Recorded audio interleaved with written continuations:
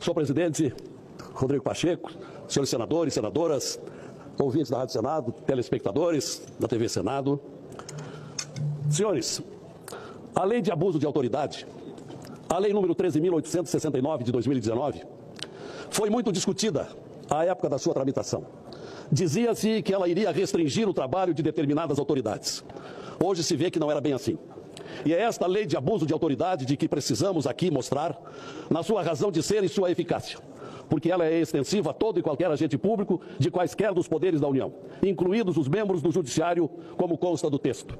E é com base nessa lei de abuso de autoridade que venho à tribuna para confirmar um requerimento definido como petição 13, apesar do irônico número, aqui protocolado há um mês, no sentido de promover-se o impeachment do ministro Alexandre de Moraes, do Supremo Tribunal Federal, pedido com ampla base legal.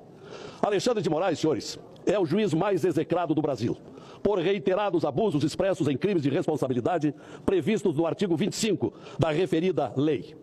Sua série de crimes de responsabilidade é grande e poderíamos rememorar aqui vários dos seus atos abusivos, todos bem conhecidos da sociedade brasileira. Inclusive, a propósito, no mês de junho último, o, o senhor senador Cajuru protocolou aqui no Senado também um pedido contra Alexandre de Moraes para impeachment, com mais ou menos 3 milhões de brasileiros assinando abaixo assinado.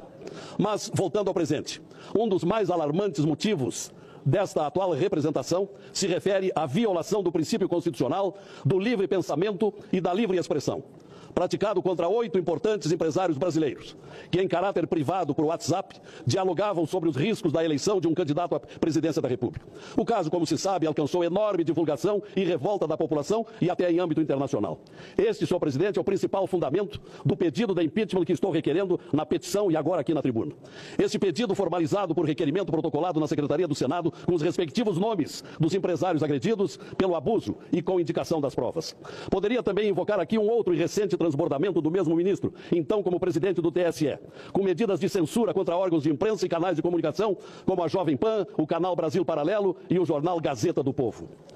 Para piorar. Alexandre de Moraes lidera atualmente um ato de ampliação dos poderes da Corte de medidas dessa natureza, todas elas atropelando as prerrogativas do Ministério Público e que me motivou presentemente um pedido de decreto legislativo para assustar a aberração.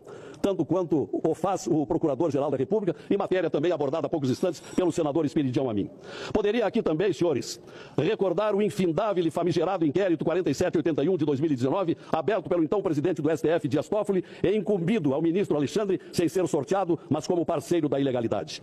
Com esse requerimento, com esse inquérito 4781, Moraes vem fazendo uma escalada de intermináveis violações à nossa lei maior, tais como prisões de jornalistas, de parlamentares sem respeito ao preceito da inviolabilidade, bloqueio de contas, suspensão de perfis e redes sociais, perseguições e indiciamentos de pessoas sem foro privilegiado, etc.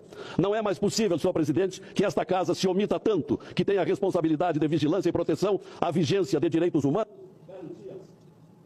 garantias, garantias constitucionais, liberdade de pensamento e expressão e sem qualquer censura aos meios de comunicação. Tudo isto bem e tem ocorrido a saciedade diante da indiferença, inércia, omissão do Senado. Não temos cumprido nossa missão constitucional de processar e julgar os ministros do Supremo que exorbitam constantemente de suas atribuições, assumindo poderes sem amparo legal e constitucional, cometendo arbitrariedades bem conhecidas. Ao contrário, o que mais se tem feito aqui os últimos presidentes da casa, inclusive com pesar, Vossa Excelência, que prometeu aqui um Senado democrático e que tem arquivado e engavetado dezenas de pedidos de impeachment de infratores do Supremo Tribunal Federal. Esses comportamentos autoritários, e peço um pouco mais de Vossa Excelência, esses comportamentos negativos vêm marcando um capítulo nefasto do Senado Federal que nunca chegou a nível tão baixo no conceito popular e nas ONGs de transparência nacional e internacional. Quero, por fim, pedir a Vossa Excelência que observe no presente pedido de impeachment do ministro Moraes a observância dos dispositivos muito claros da Lei 1079 e 50, que determina no seu artigo 42, uma vez observadas as formalidades elementares do exercício do cargo do agente visado, assinaturas do pedido e relação de provas sejam feito imediatamente, encaminhado à mesa do Senado para averiguação da sua admissibilidade. Artigo 44 da referida Lei 1079. Estou encerrando, senhor presidente. Este é o rito correto e legal, que não tem sido observado há muito tempo pelos presidentes do Senado. Ao contrário, os presidentes do Senado recebem o requerimento, remetem para o advogado da casa, cargo de confiança do presidente, e advogado que habitualmente tem se imiscuído no mérito do pedido e proferido parecer sem atribuição para isto. Isto tudo está errado e precisa ser mudado. O roteiro é outro, que peço a Vossa Excelência seja observado nessa última tentativa que fazemos no apagar das luzes da atual legislatura. Mas ainda há tempo para tanto, que ao menos uma vez na história recente cumpra-se o rito da Lei 1079 e a nossa obrigação de defensores da Constituição seja cumprido. Em conclusão, em conclusão, Alexandre de Moraes, de arbitrário. Quai, seu app de vídeos curtos.